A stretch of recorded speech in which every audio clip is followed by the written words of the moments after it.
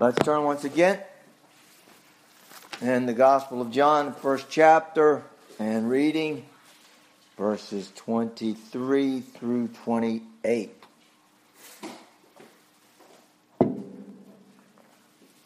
He said, I am the voice of one crying in the wilderness, make straight the way of the Lord, as said the prophet Isaiah.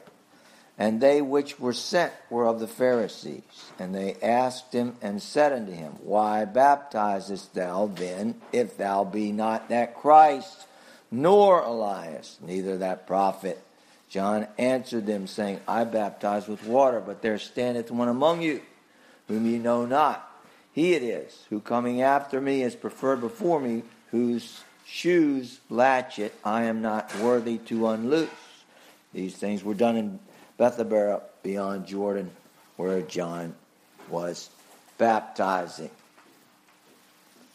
I'm reminded this week of the song, is that composed by Bach or Beethoven? Ten little speckled frogs. So, reminded uh, this week of that song, Ten Little Speckled Frogs sat on a speckled log eating some most delicious bugs. One jumped into the pool where it was nice and cool.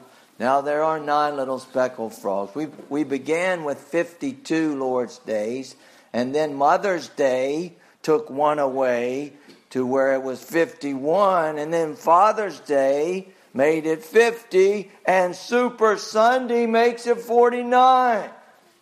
52 little speckled frogs sat on. So serious stuff. God uh, places his Sabbath very high. It's in the first table of the law.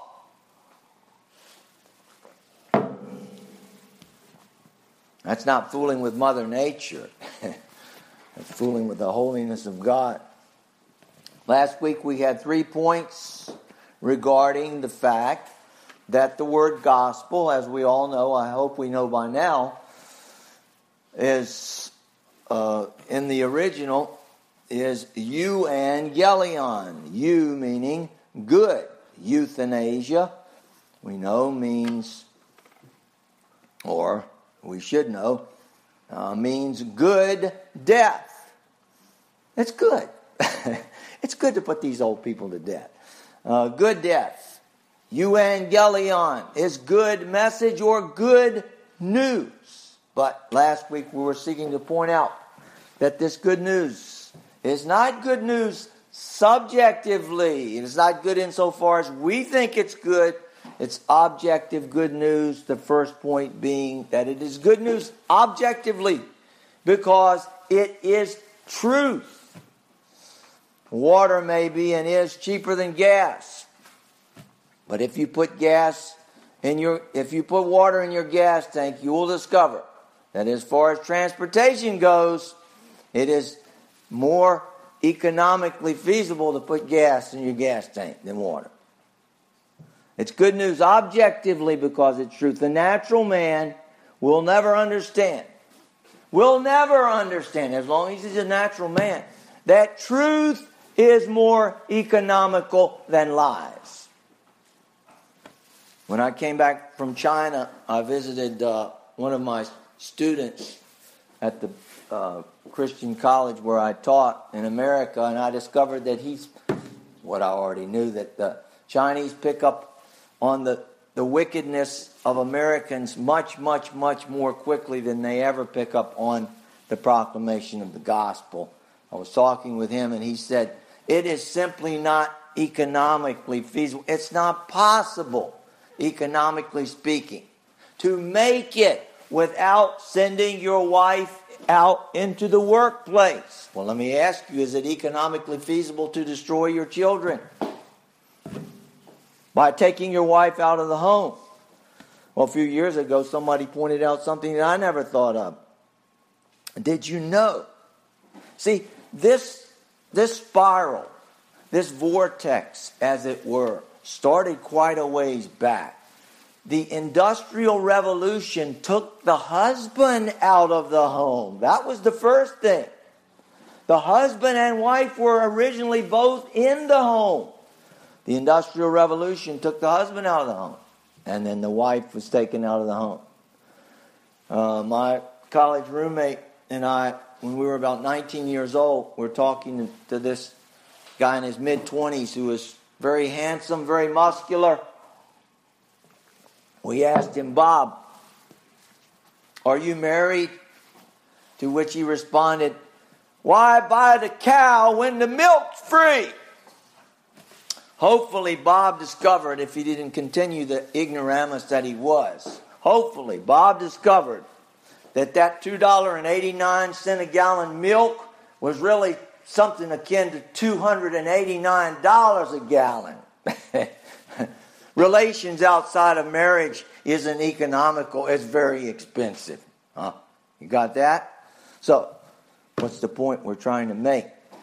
The gospel is objective good news because it is truth, meaning truth, biblical truth is the owner's manual, which is always good news. Not if all else fails. Secondly, we said that the gospel is good news because it is about justice. And justice is always good news. Whether we, subjectively speaking, we like to believe it or not. No signal. Justice is always good news.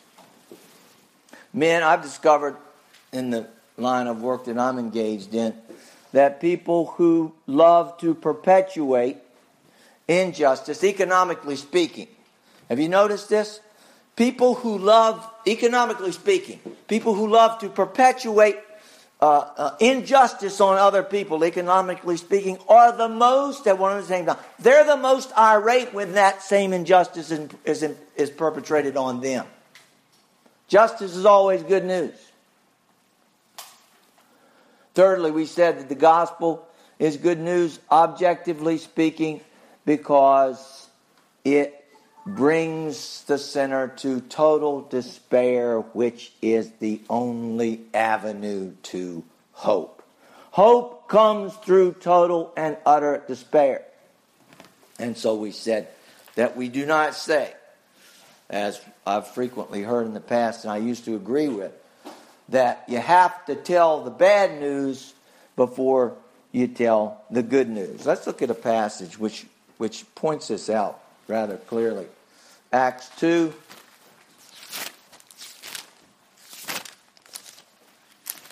Beginning with verse 22.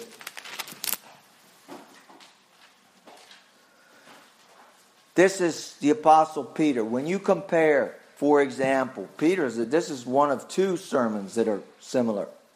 The Apostle Peter's sermons and Stephen's sermon t- uh, taken from Acts chapter 7. Compare these sermons with the sermons that we most frequently hear today. Stark contrast. Ye men of Israel, hear these words Jesus of Nazareth, a man approved of God among you by approved of God among you by miracles and wonders and signs which God did by him in the midst of you as ye yourselves also know. Notice he's leading up to something. Jesus of Nazareth. Here's the guy I'm talking about. The man approved of God among you by miracles and wonders, things you've never seen of or imagined. He performed before. Verse 23 Him being delivered by the determinate counsel and foreknowledge of God ye have taken and by wicked hands have crucified and slain. And then over to verse 36, he continues. Therefore, let all the house of Israel know assuredly, once more, he says, that God hath made that same Jesus, whom ye have crucified, both Lord and Christ. Now, here's the point. If the gospel driving you to total despair, drives you to a hopeless condition, you would not have verse 37. You got it? Do you see it?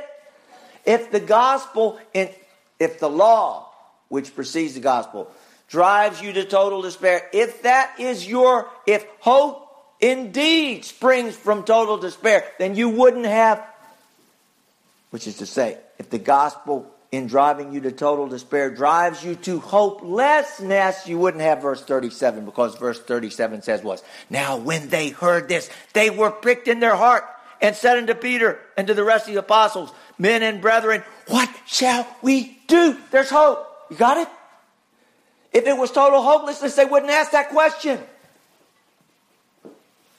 The gospel in leading us to total despair leads us to the only hope that has ever obtained since the fall of man. But partial dis- despair leads to violent destruction.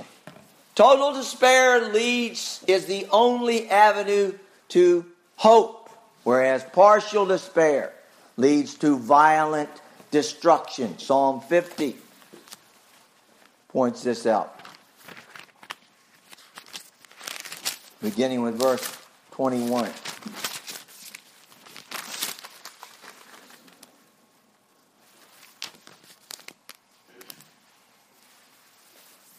Let's start with verse 20 or verse 19. Psalm 50, verse 19. Thou givest thy mouth to evil, and thy tongue frameth deceit.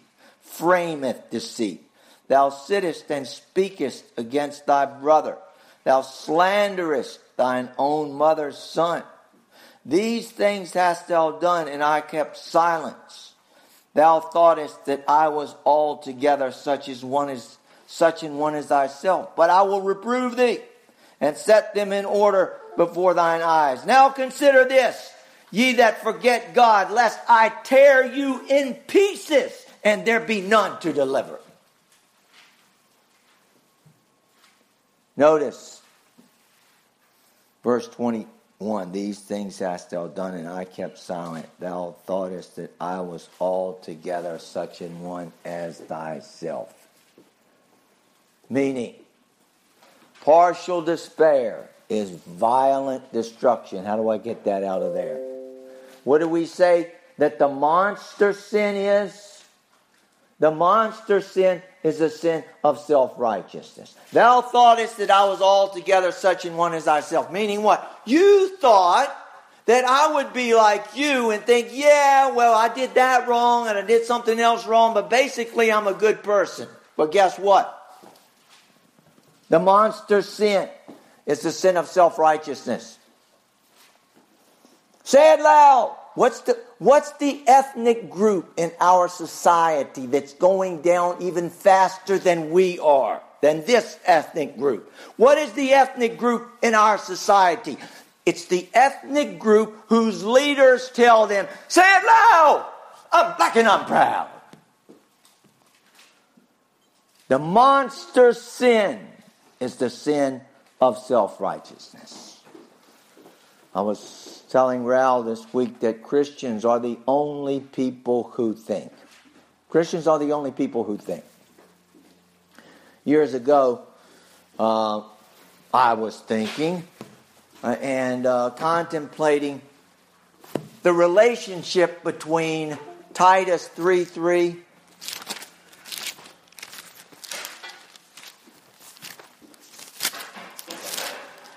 Titus chapter 3 verse 3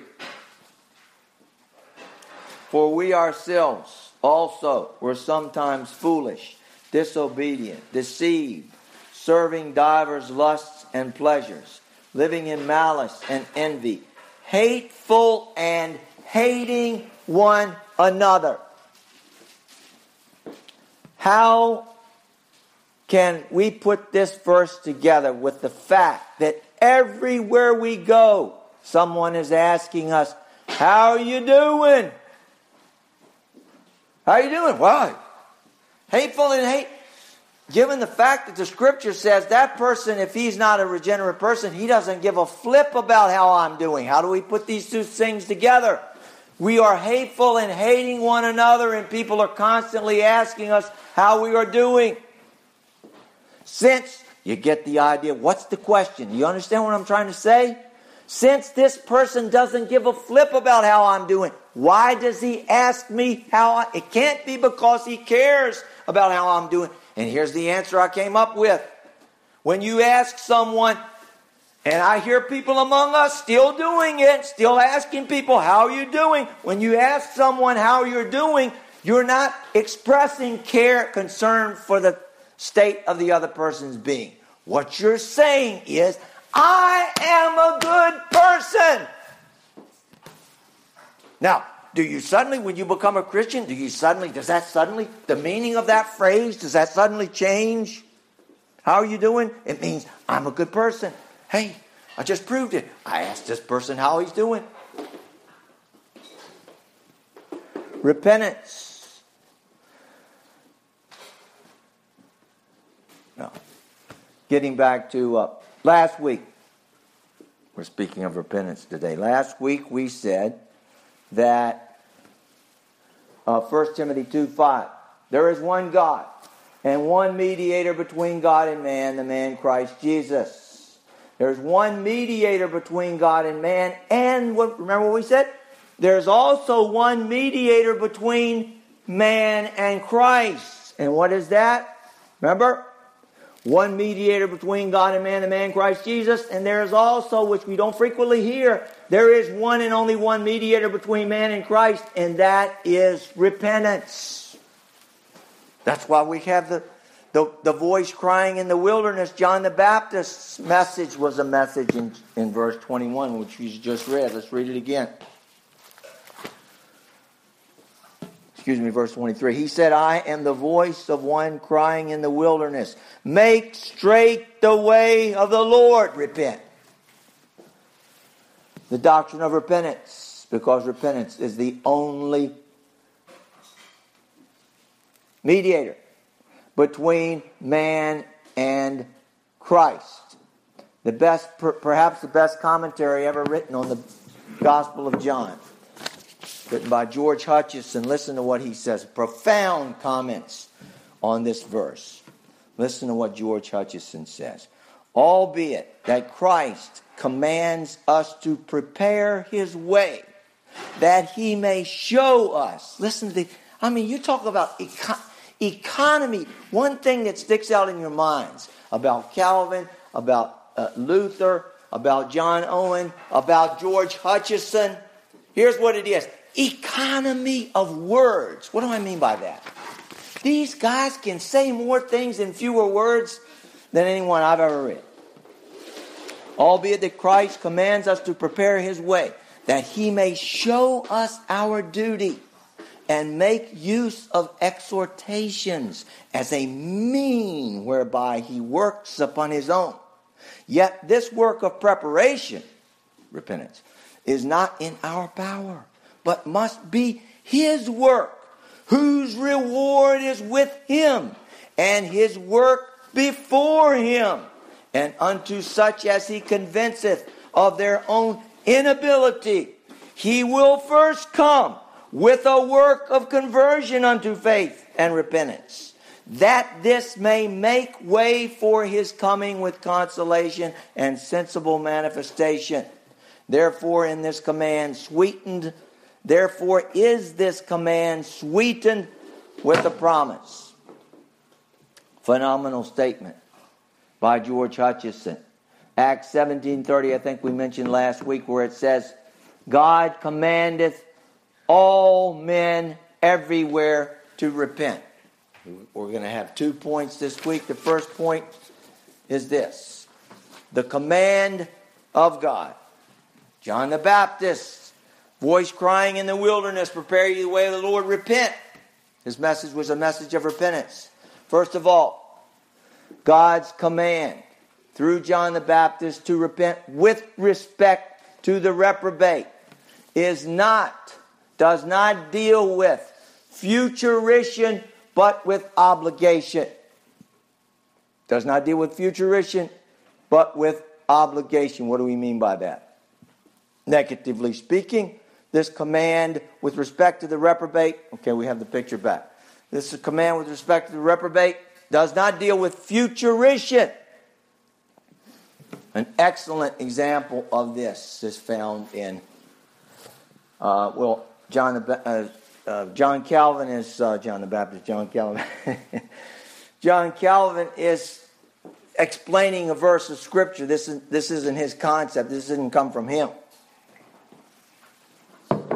The command of God to the reprobate to repent does not deal with futurition. What do we mean by that?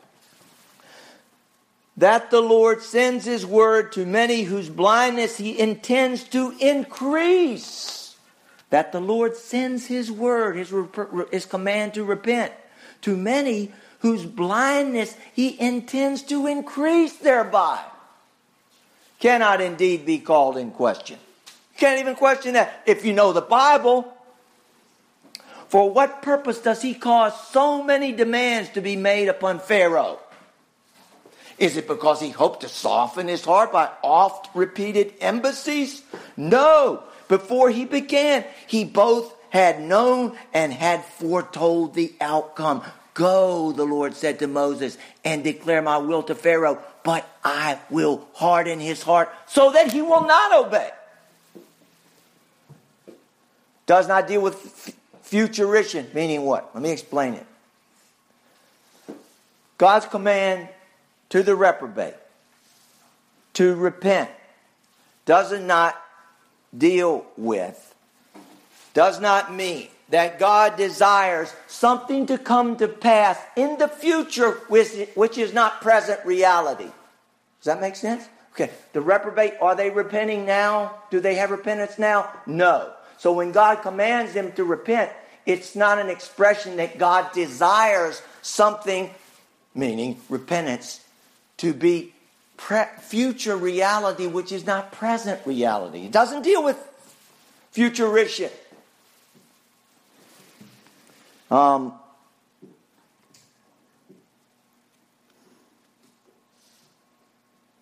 does not deal with futurition, but it deals with, and listen once again to uh, Hutcheson. It does not express God's desiring something to come to pass in the future which is not present reality. Albeit that Christ commands us to prepare his way, that he may show us our duty does not deal with futurition, but of obligation. He commands the reprobate to repent to show him what is his duty. Not futurition, but of obligation. Now, let me issue a warning here. You will hear, if you haven't heard thus far, you will hear the Calvinists in the future. And don't be fooled by this question. When God, for example, just to give you an example, they might ask a question like this When God commands us, thou shalt not bear false witness.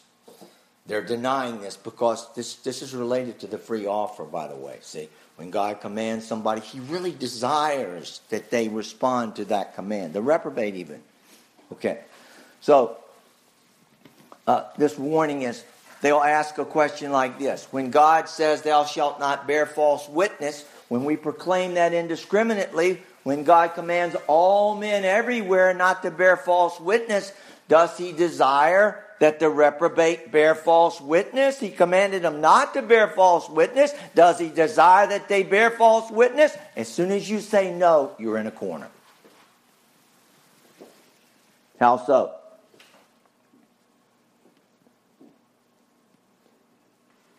To say that God desires that the reprobate stop lying is akin to God's desiring to square a circle. Does that make sense?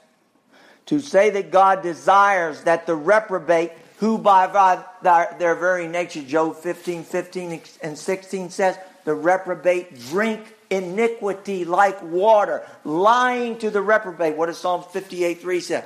Say, the wicked are estranged from the womb. They go astray as soon as they be born, speaking life. Lying to an unregenerate man is just as natural as breathing is to him. So does God desire, apart from salvation, that he stop lying? Come on, can anything be any more ludicrous than that? So, what does God, what is God's purpose in proclaiming, in commanding the reprobate to repent?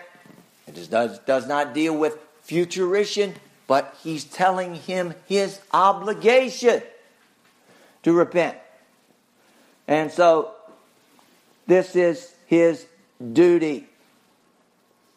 So, with regard to the reprobate, God's commands, including the command of repentance, serves two purposes. The first thing is to show him his duty. The second purpose in commanding the reprobate to repent is to increase his inexcusability. Well, you never told me that I should. He did tell you. And so your inexcusability is increased. Secondly, we're dealing with the command to repent. The first point was with respect to the reprobate, it deals with his duty. Uh, it does not deal with futurition, but of obligation. It tells him what his duty is. Secondly, the command to repent with regard to the elect. Let's look again at Hutcheson's statement. What's the purpose in God's commanding his people, even his people which are yet unregenerate. What's his purpose in commanding them to repent? Christ commands us to prepare his way that he may show us our duty and make use of exhortations as a mean whereby he works upon his own. You get that? That he may show us our duty and make use of exhortations as a mean whereby he works upon his own. What's he saying? This is so interesting because when we read, um, it's like when I first, when uh, Kenneth first started reading Luther's, I think it was Bondage of the Will or, or his commentary on Galatians. He said it was, it, it was almost like I wrote the book. Not to say that he's, uh, he's a, he, uh, his literary expertise is, could be compared with Luther, but the content. We believe the same thing. What have I been saying over and over and over again? What's he saying here? That he may show us our duty and make use of exhortations as a mean whereby he works upon his own. What's he saying? God's commands are his enablings. That's exactly what he's saying. Remember in Psalm 50 that we just read, he said, Thou thoughtest that I was altogether such in one as thyself.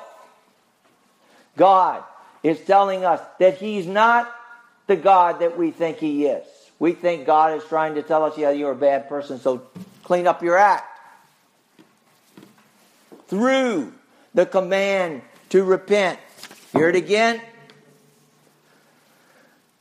Show us our duty and make use of exhortations as a mean whereby he works upon his own. For example, Romans 12, 1 and 2,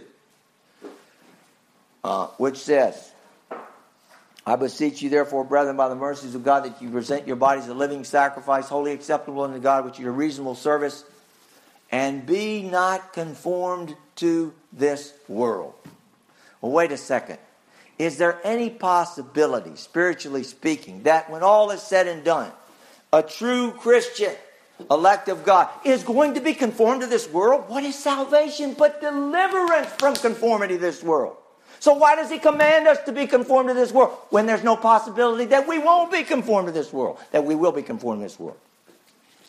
Why? Because of what he just said.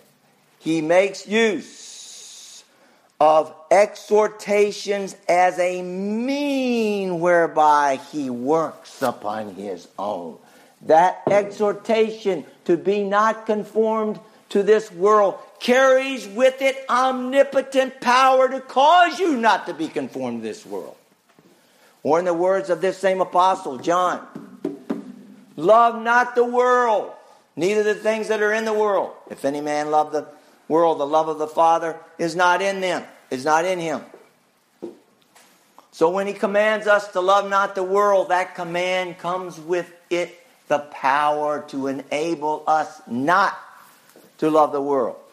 So we're speaking of God's dealings with the Christian in his command for us to repent. And repentance is a lifelong uh, process, as it were. Charnock, Stephen Charnock, the 17th century Puritan, wrote a book entitled The Existence and Attributes of God. Thou thoughtest that I was altogether such in one as thyself. Well, what is God? Who is God? What are his attributes? The primary attribute in God is stated in Isaiah. God's primary, his attribute, we could say, his attribute of attributes is found in Isaiah 6 3. And one cried, the seraphims, one cried unto another and said, Holy, holy, holy is the Lord of hosts. The whole earth is full of his glory. Now, in uh, the Jewish mind, the way that the Jews emphasized something was they emphasized something by way of repetition, as Christ constantly said, Verily, verily, I say unto you. Instead of saying, Hey, this is really important, guys. Listen up. Verily, verily, I say unto you. In Isaiah 6 3, he says, Holy, holy, holy is the Lord God of hosts. This is the only attribute in Scripture which is raised, as it were, to the third power. But when we say that holiness is God's attribute of attributes, we're not merely saying that holiness is more important than his other attributes. What we're saying is this is that an understanding of all of God's other attributes is contingent upon our understanding of His holiness. Without understanding the holiness of God, you understand nothing about God because holiness means set apartness. Holiness means I'm not the one that you thought I was. Thou thoughtest that I was altogether such an one as thyself. Guess what? No matter what, whatever you used to think, whatever you thought about me from your birth, from the time you first started going to church, I'm not that. God's set apartness is His holiness. For example, to explain what we mean by this, if you ask a natural man, what are some attributes of God? It doesn't matter what he says. Uh, I think it's such as. No. I think it's about no. I think it's about two circles. The answer is no. What about this? Think, think about this one now. Suppose the natural man says, uh, is omnipotence one of his attributes? What would we say? No. Why? Because his concept of omnipotence is in here. It ain't in here. You got it?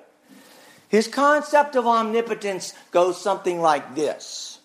We were reading about the, the, the, the first uh, atom bomb which was dropped, and it said something like it's like 10,000 10, times the power uh, of, a, of, a, of a regular bomb.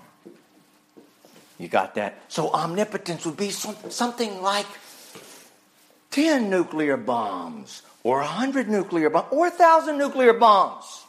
Whereas in reality, when we speak of the omnipotence, God, the omnipotence of God, we are speaking of a God. Uh, for God, who commanded the light to shine out of darkness, has shined in our hearts to, to give the light of the knowledge of the glory of God in the face of God, who commanded the light to. Omnipotence means bringing something out of nothing, and they will never admit to that. Their whole religion is from something to something else. Their whole religion is tell like when I went to China. What you if you ask a Chinese what is his religion, he will almost inevitably, if you give him enough time, usually it happens pretty fast, but if you give him enough time, he will say this religions are all the same. they all urge people to do good. You see it? So I might need a little, I might need a lot of power. I might even need that omnipotence to help me to do in here something better than I don't think I can do right now. You see now?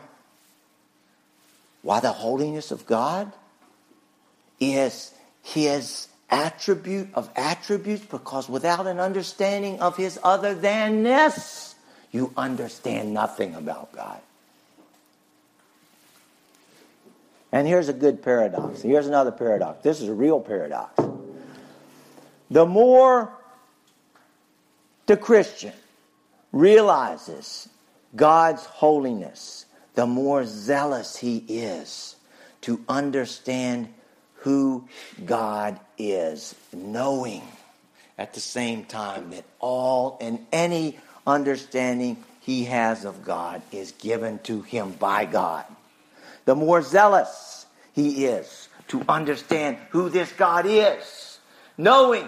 See, Christians read the Bible. That's why we're not Christians anymore in the church. Talk to a normal Christian. I was talking to a Christian. He said, Oh, we're starting a church.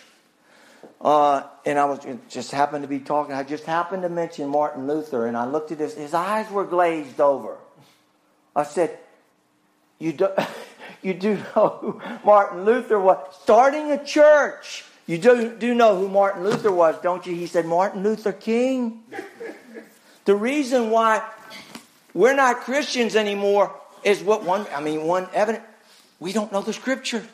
A person who understands the holiness of God is so zealous to find out who God is, knowing at one and the same time that anything he understands of God has been given to him by God, the one who is the set apart one. I told you before, my favorite movie is The uh, Wizard of Oz. And my favorite line out of that movie is when Dorothy gets to, to the wizard and she says, You're a very bad man. And the wizard says, Oh, no, no, no, no. I'm a very good man.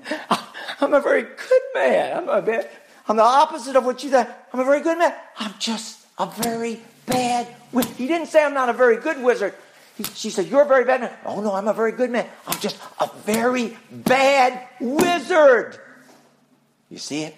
That's what you see why that's my favorite movie? We're off to see the wizard, the wonderful wizard of Oz. We hear, he is a whiz of a whiz, if ever a whiz there was. If, if ever, oh, ever a whiz there was, the wizard of Oz is one because, because, because, because, because, because, because of the wonderful things he does. And they find out that the wizard is indeed a wizard because he tells you you're the wizard. That's the false gospel. The relationship to repentance is this. Repentance. Remember last week, Isaiah, excuse me, Acts 20, 21, Paul said, Our message his message was the same message as John the Baptist. His message was repentance toward God and faith toward our Lord Jesus Christ. Notice he doesn't just say repentance. What do we say repentance means? Etymologically speaking, a change of mind. Repentance toward God. A change of mind to where we see that God, that, that that there is an objective basis for law. And think about this. Why I was I was I was going to ask uh, Al, or I did I, I can't remember if I asked you or not. After we left Idaho, just before we left Idaho, I noticed that there was a monument of the Ten Commandments in front of the courthouse in Coeur d'Alene, Idaho. And I, I asked him, I think I asked him, go take a picture of that because I know it's not going to be there long. But guess what? By the time I asked him, it was already gone. What does that mean? When you remove the Ten Commandments from a courthouse, it means they're saying there is no objective basis for. Why did they put that in the first place? There is an objective basis for law. And that was written in stone, meaning that it is a perpetual obligation. You're saying repentance toward God means, first of all, you're admitting for the first time that there is a, an objective, not what you like, what you think is God. I've asked people over and over again. Tell me if these two sentences are the same. Are, are they expressing the same idea? Number one, first sentence, second sentence. Are these sentences, do these two sentences mean the same thing? Number one, I'm a good person. Number two, I like myself. You see it? Do you see it? Yeah, most to most people, they mean exactly the same thing. What do I mean by that? I'm a good person.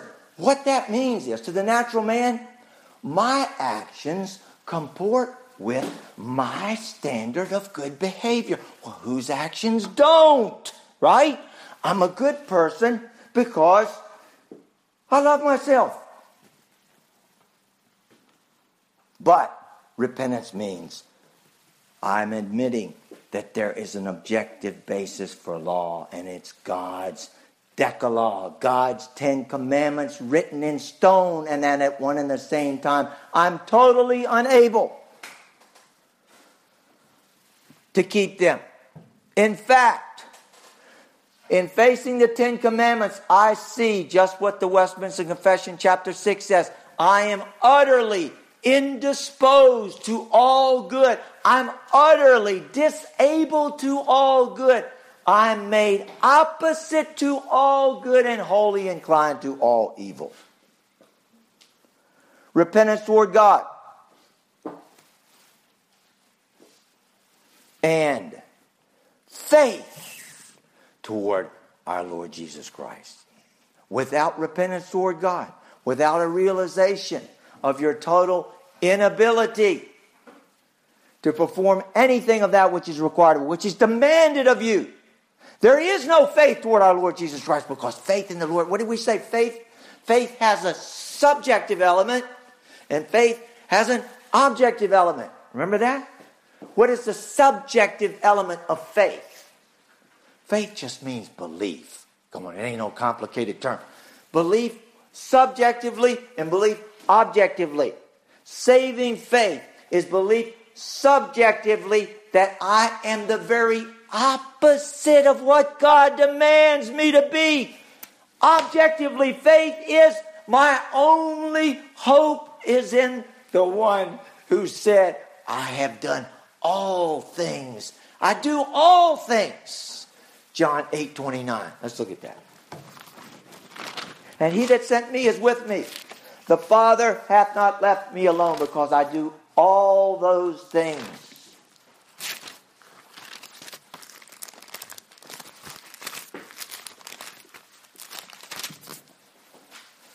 And he that sent me is with me.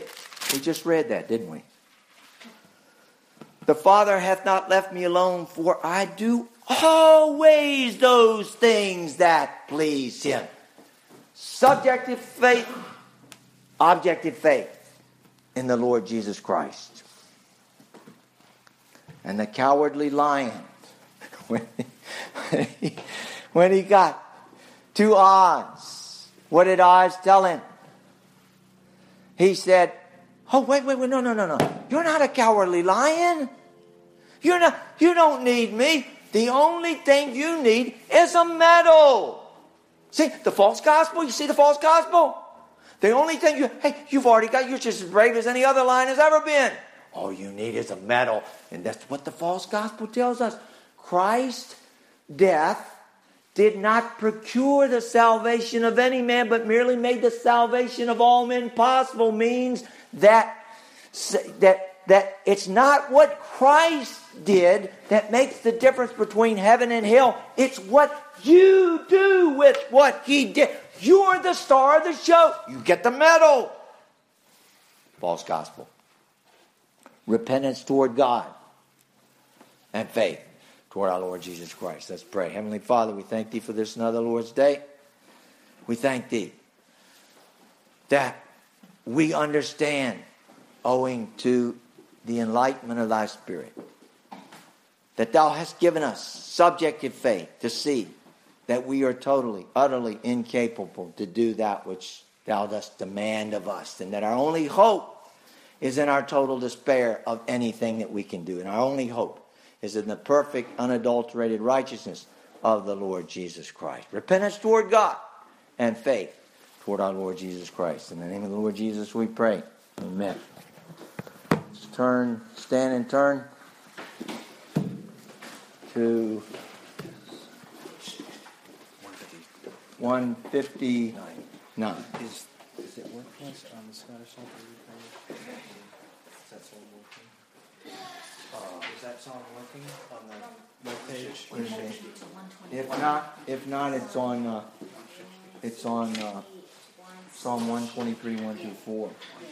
Psalm 123. Yeah. The tune is. Our Lord. Yeah, I've got the- just the two in here.